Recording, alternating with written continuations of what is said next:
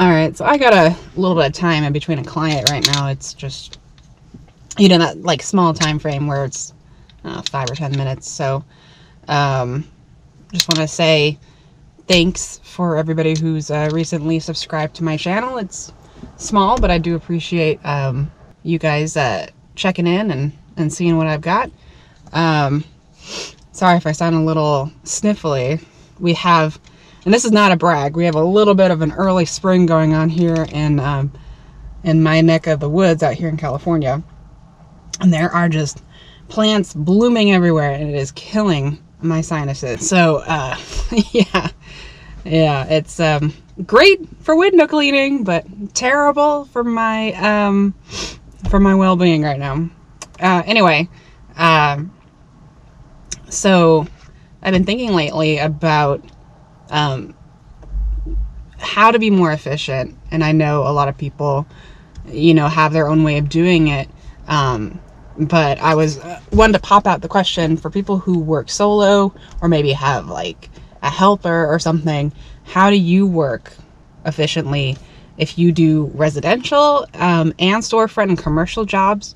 How do you balance all that? And I might do a video on how I do that um, everybody does it a little differently. I kind of um, establish certain days for just commercial, um, not necessarily residential, because sometimes a customer needs it on a certain day.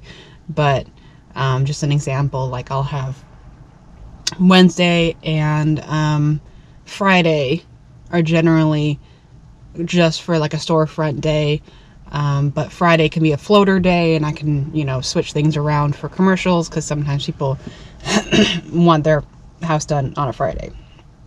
Um, I don't know how you guys do it, but uh, that's kind of, you know, sort of a question I wanted to throw out there and see what everybody does to sort of help them uh, uh, deal with the with the busy season that we're going to be coming up with.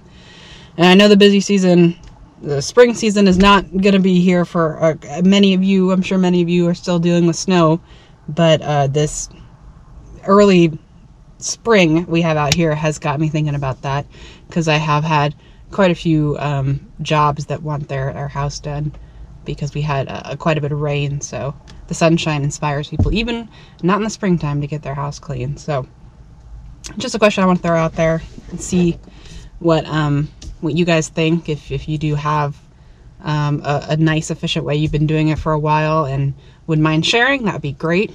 Uh, just let me know in the comments or maybe make your own video. And uh, I'd love to hear from you. So, excuse me while I sniffle my brains out over here. All right, thanks for watching.